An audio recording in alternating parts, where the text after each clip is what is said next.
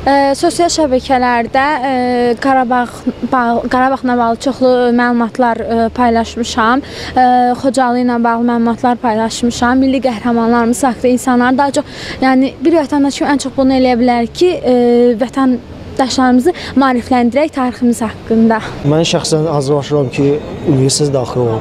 Ondan sonra da ə, ali təhsil Azərbaycan üçün çoxu, çoxu necə deyirlər, tarix Azərbaycanın tarixinə düşüyor. Azərbaycan başqa ölkələrdə təmsil eləyim. Bax belə. Mən ən çox 20 yanvarda və yaxud da Xocalı faciələrində şəhidlər xiyabanına getmişəm, amma ən çox da bir fəxri xiyabana getmək istəyirəm ki, prosta hələ o arzum yerinə yetməyib. Amma belə ən çox mənim üçün də gənclər üçün ən çox münasib yer şəhidlər xiyabanıdır. Məncə ora getsin, öz qan yaddaşını unutmasın. Məsəl üçün hardasa ağac əkiblər, köməklik eləmişəm mən də. Ya kimsə ev evini remontla eləyəndə çağırıblar, mən də bacardığım qədər köməklik eləmişəm belə. Başqa başqa necə ola bilər? Başqa heç.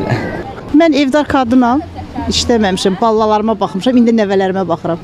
45 il işləmişəm. 45 il Azərbaycan üçün işləmişəm. Çıxmışam pensiyaya. Azdır.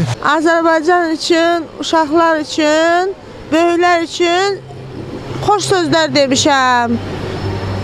Hamıya salam vermişəm. Nə bilim, hər səhər e, nə bilim kim qarşıma çıxıb yeni iliniz mübarək olsun. Həmrəylik günü e, həmrəylik gününüz mübarək olsun. Nə bilim elə hardan çəkiliş gəlibdi, oradan elə bütün dünyada yaşayan Azərbaycanlıların həmrəylik gününü, yeni ilini səmimi qəlbdən, ürəkdən təbrik eləmişəm.